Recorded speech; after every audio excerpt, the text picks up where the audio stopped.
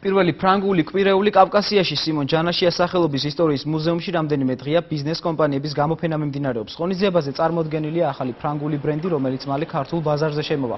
გამოფენაზე დამთვალიერებელს შეუძლია ასევე იხილოს ქართული და ფრანგი ხელოვანების ფოტოები და ნახატები. დღევანდელი ღონისძიებები ფრანგი შეფმზარეულის მასტერკლასებით დასრულდება ფრანგული კვირეული თბილისში ხვალ დაიხურება.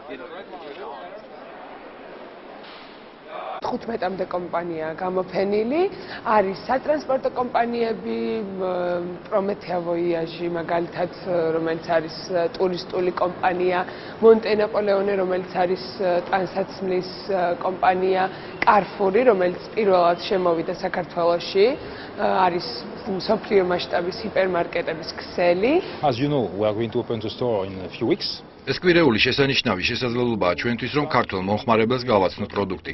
ძალიან მიხარია, რომ დღეს აქ ბევრი დამთვალიერებელია და ისინი აგემოვნებენ ქართულ ფრანგულ პროდუქტს, რომელიც ჩვენ სუპერმარკეტში გაიყიდება.